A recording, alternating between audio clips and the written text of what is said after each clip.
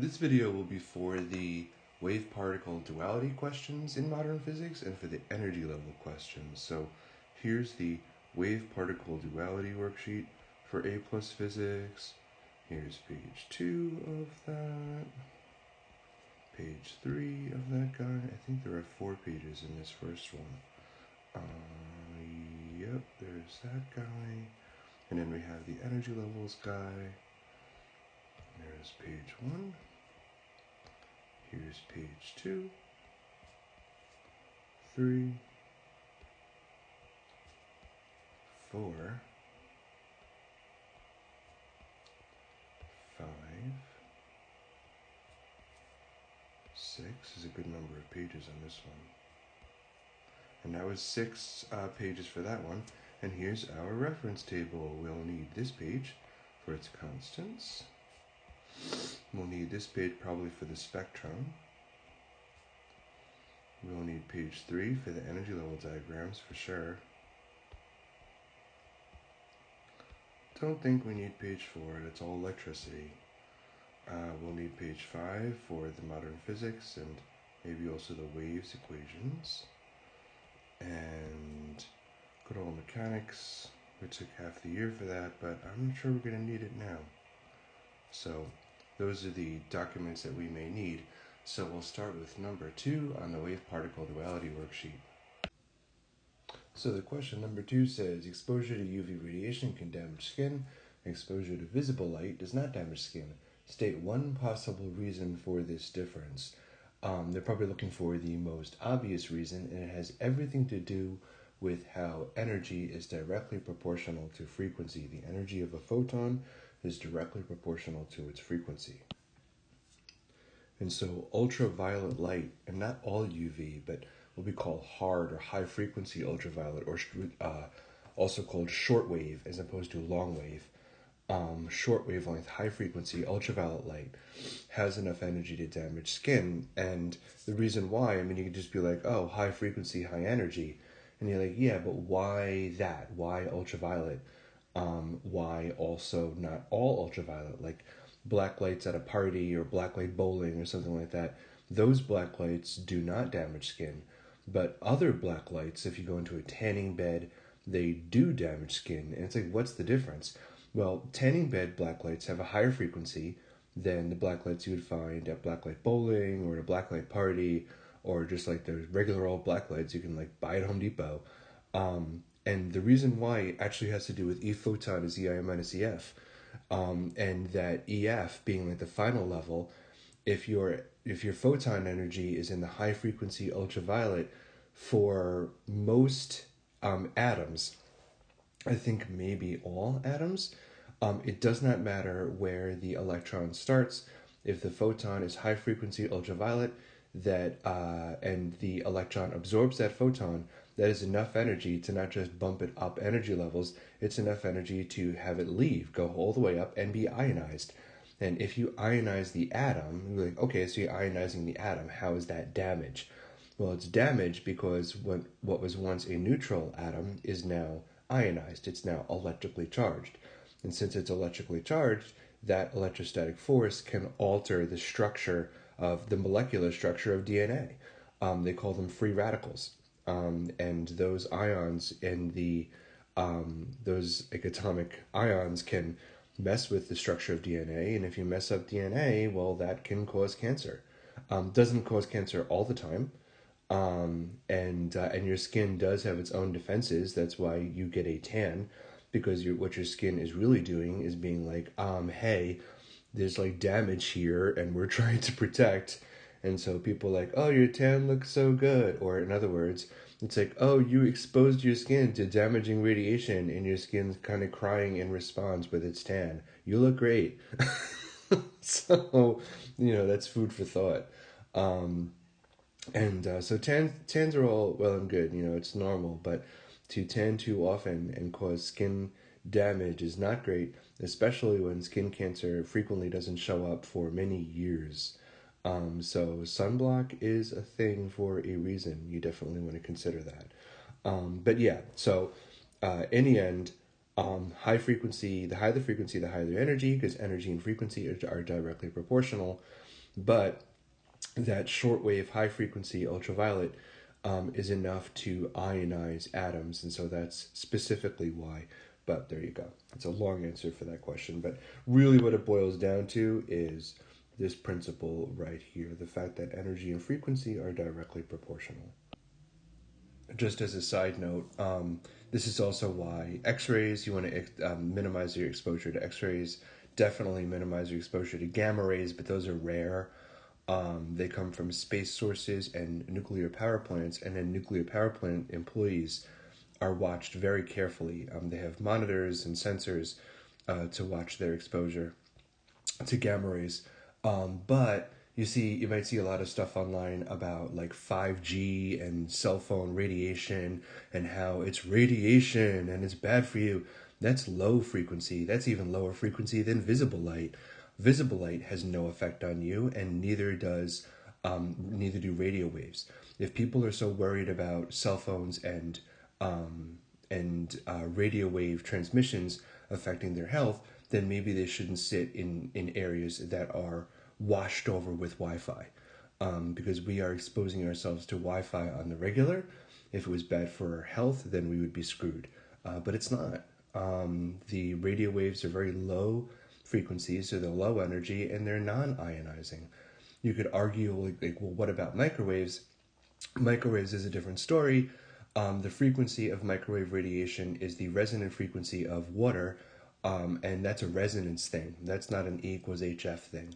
Um, and uh, thankfully, radio waves are not at the resonant frequency of anything living, so radio waves are not going to mess up um, people like you know as if like like microwave cooking water. Um, so there you go. Wow, a winner is me. Um, once again, I assigned a problem that actually required the answer to the previous problem. So to do number four, you actually have to solve for number three. That's my bad. I apologize. Let's switch that up and take a look at three first. Um, then we can do four, and three actually uses an equation that they give to you, and that's that the wavelength, the de Broglie wavelength of a particle is Planck's constant divided by the mass times the speed of the particle. So there we go. We just used the equation they gave us in the problem. They gave us the mass, they gave us the speed. We know that Planck's constant is 6.63 times 10 to the negative 34 joule seconds. Page 1 of the reference table. Solve that out and get 4.95 times 10 to the negative 14 meters for that wavelength. Then number 4 says, is the same order of magnitude as which type of electromagnetic radiation. So we're going to have to uh, um, check the reference table. Page 2, we're going to have to look at the spectrum. Typically, I ask you to solve for the frequency first, um, but we don't really have to here because we're just looking for order of magnitude or power of 10. Order of magnitude means power of 10. Um, but let's just solve for the frequency anyway because it really is the way you should be using the electromagnetic spectrum. So I get a frequency of 6.06 times 10 to the 21 hertz. So wavelength is 10 to the negative 14 uh, frequency is about 10 to the 21 or 10 to the 22. Let's go look at the chart. Okay, here we are, page 2 of the reference tables, and it says that the uh, wavelength is um, in the 10 to the negative 14, so that's all the way over here, and then the frequency uh, as well.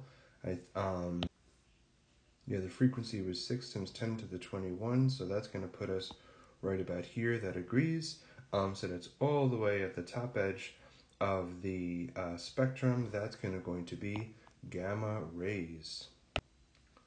Again, just to repeat, when I say order of magnitude, they mean power of 10.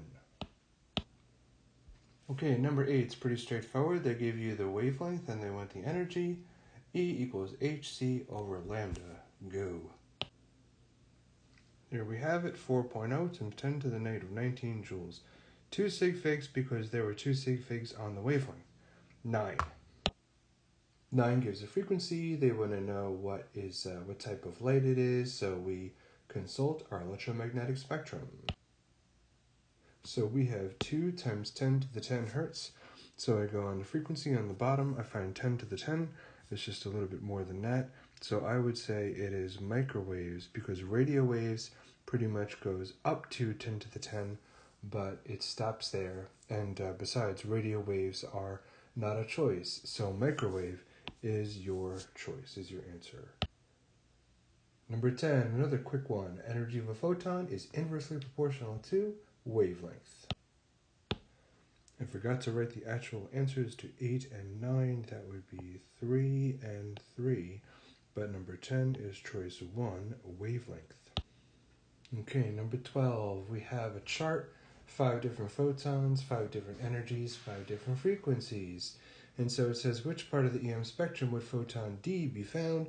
So we look at the frequency, it's 2 times 10 to the 13 hertz. One more electromagnetic spectrum reference. That would be 2 times 10 to the 13 for photon D. That puts us right here, and that makes it an infrared photon. 13 shows an energy versus frequency graph, and it wants to know what would the slope be. Well, I know that the the energy is in, is directly proportional to frequency. We have E equals H F. And so E and F are directly proportional, and that constant of proportionality is the Planck's constant h.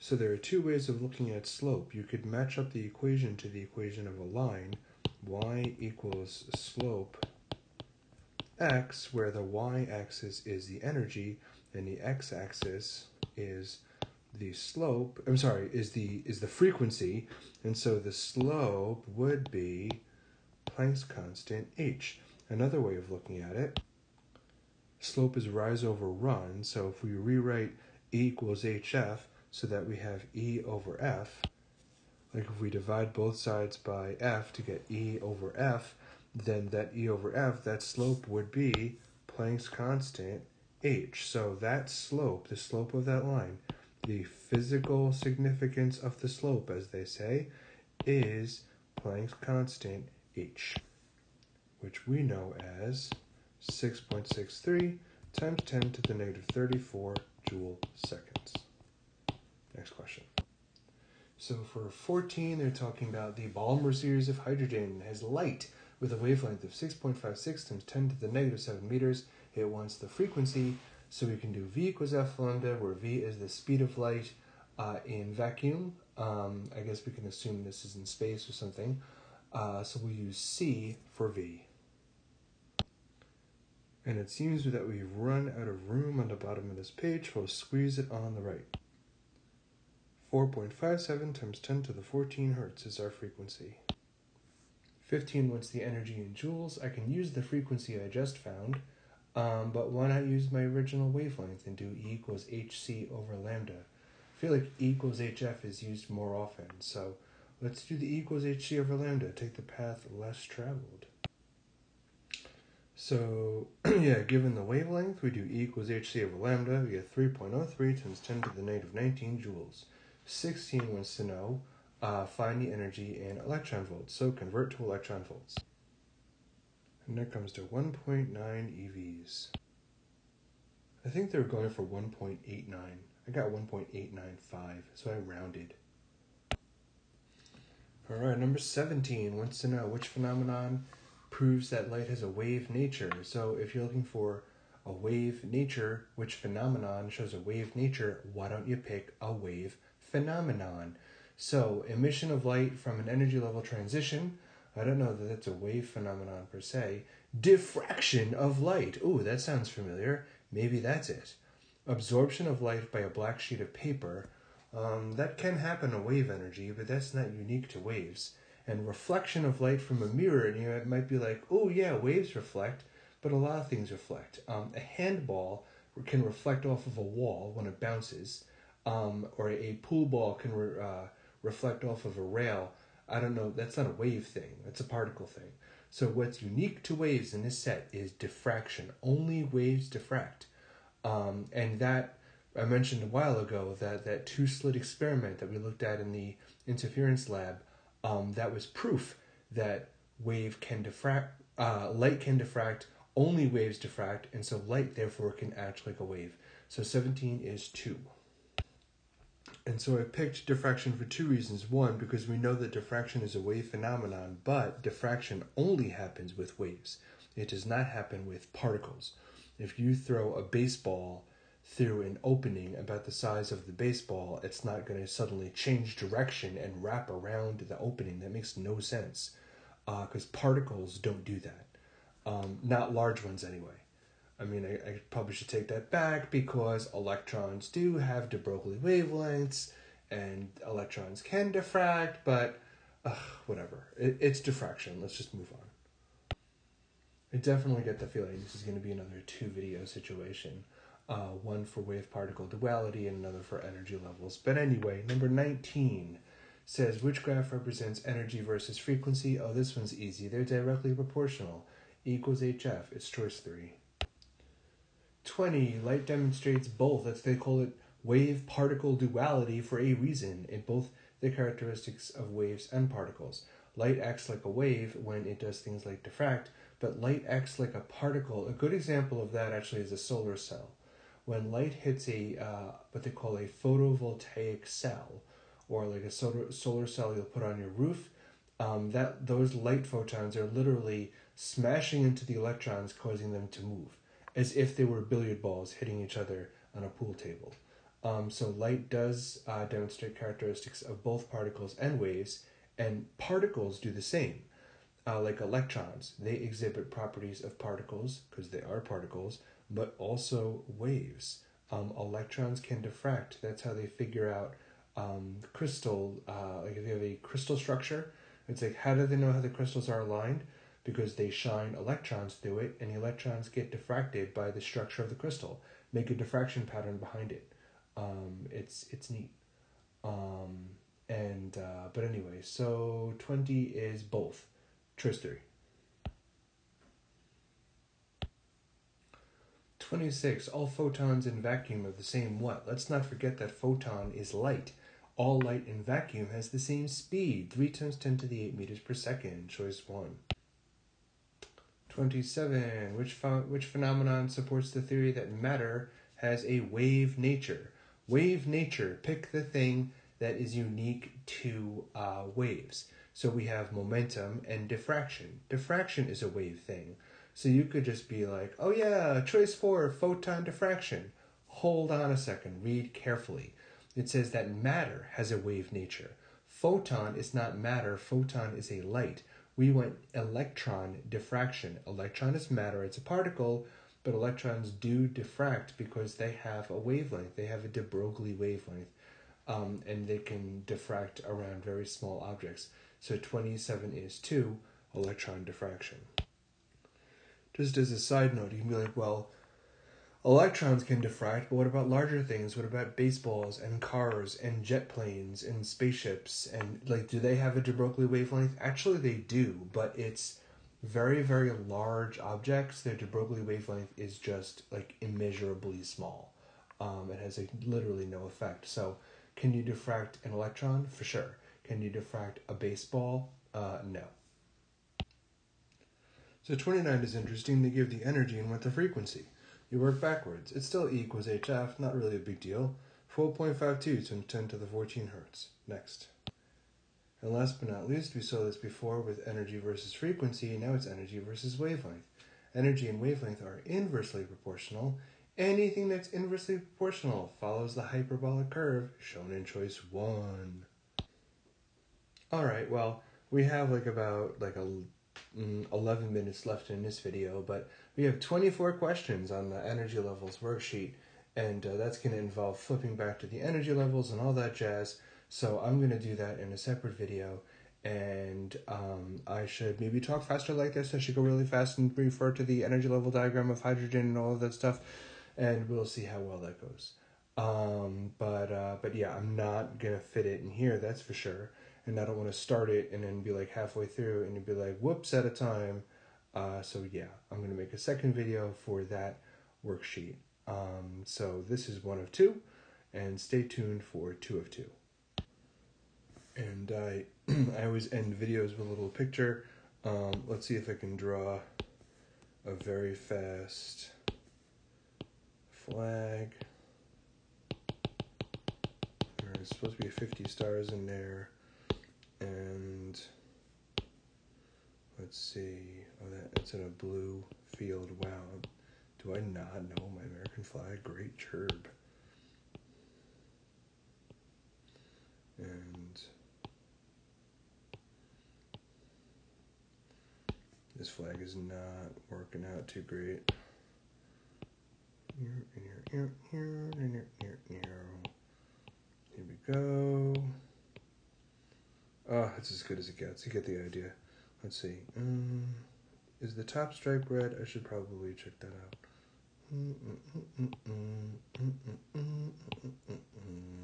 I think you get the idea. Um, it's the flag of our country. But I put it down um, because it's Memorial Day, and uh, a lot of people are like, "Oh, three day weekend, yeah, shoot off fireworks." And let's like honestly, let's not forget um, what we are remembering, and uh, it's soldiers who have given up their lives for our country, um, and it's uh, and there's like, you know, a, a bunch of people very much support Memorial Day, and I do too. Absolutely. I mean, my uh, my uncle, um, rest his soul, was uh, was was shot down over Vietnam, and he lost his life. Um, and uh, but it's the kind of thing, you know, it's like some people join the military of their own accord and are super patriotic, and they you know love American ideals, and that's beautiful. Um, and then there are people, say, in Vietnam who were drafted and didn't really want to go and didn't really know what they were fighting for. Um, but people have different points of view on that. But I, I think the net takeaway is that it's uh, it's super serious and it's super important. Um, and you know, whenever we have like a military engagement, um, and that's why I tell people that voting it doesn't matter who you vote for, but just the simple act of voting is just so ridiculously important. Um, even you know, like they keep track of how many people vote and who votes um, not how you vote, that's super illegal, like how you vote, but whether or not you vote um, is not illegal at all. And man, do they follow that? They keep track of it. And um, and politicians, that's how they stay in in their jobs is who votes for them, and so they pay attention to who's voting. Um, again, not necessarily how they're voting, but who shows up and it's just so important because um, I mean we're we're we're a democracy, and so much depends on um, on on people voting, you know, and uh, and especially you know on Memorial Day, you know, we talk about how soldiers died and and sometimes for excellent reasons and sometimes for terrible and very stupid reasons, and you know what are the good reasons, what are the bad reasons? Man, you could argue that to death, but point being is that it was always important. It was never trivial, and uh, and you know, the people that made those decisions were not the soldiers themselves. They just followed orders. It was the politicians that made those decisions for better and for worse, um, which is why, you know, voting uh, for whoever you like, um, and no matter what you think or no matter what your political position is or who you support or which party or whatever, it's the beautiful thing about our country is that people could, you know, like get into a fist fight over which political party to support, but every single person um, who is registered to vote and is able to vote um, can vote, and man, you should vote. Like, seriously. Um, even if you show up and write in, you know, it's like, uh, like Mr. Hessel, you know, for president, like, God forbid. But I would not want that job. But you could even do a write in or whatever, but, um, but show up, you know, when, when you're able um, and and tell your your folks that they should vote. Um, and and the more local the vote is, the more important it is. Uh, the more your vote matters. Things like the you know the school budget, you know, and school board members and local politicians, you know, even people like you know town of Hempstead uh, politicians, and I think you know right yeah Rockville Centre has their own politicians. Um, it's it's like I think I made my point. Um, it's super important to vote. It doesn't matter how you vote. You know, I'm not going to tell you how you should vote, but I will tell you uh, get your behind out and vote when you can, and your folks should vote when they can. Um, it's very important. And uh, so, yeah.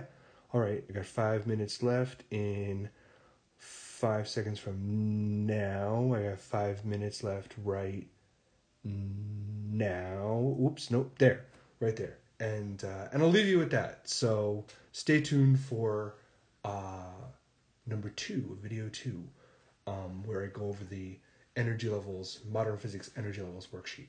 Right. Bye.